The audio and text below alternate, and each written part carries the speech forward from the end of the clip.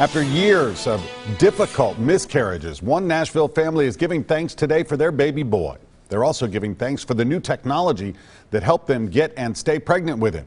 News Channel 5's Rebecca Schleicher shows us their story and how next gen sequencing works.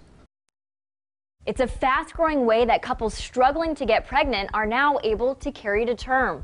And it's happening right here in Nashville. For the Beards, the holiday season brings a lot of memories. Some of them. It was brutal, and it was a big test of our for our relationship. Can be painful. So I was pregnant five times and lost all five of those pregnancies. They'd been trying for years. They didn't know what was wrong, and finally, Doctor in Bowling Green had suggested you need to go to their team.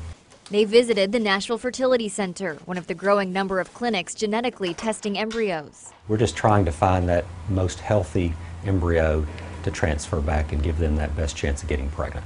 Doctors there examine computer analyzed reports to find embryos with the normal number of chromosomes. They say more than half of all embryos are abnormal. These are the two that are completely normal. The abnormality rate goes up as the mother ages or if the parents carry different genetic disorders. Most embryos that have abnormalities are not going to implant, and the ones that do implant, most of those miscarries.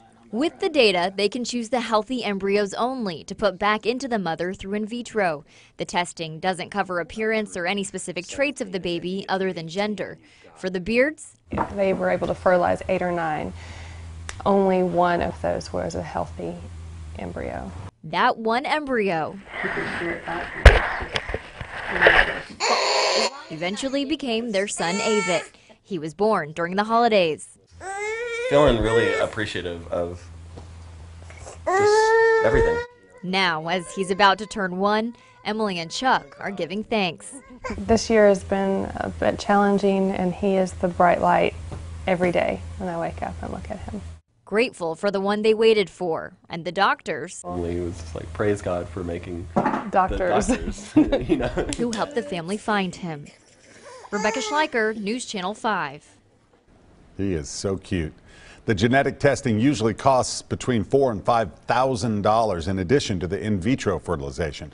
Doctors say in vitro is not right for everyone. There are a lot of less invasive ways to get pregnant that may be better for your family situation. You should consult your OBGYN or fertility doctor for your options.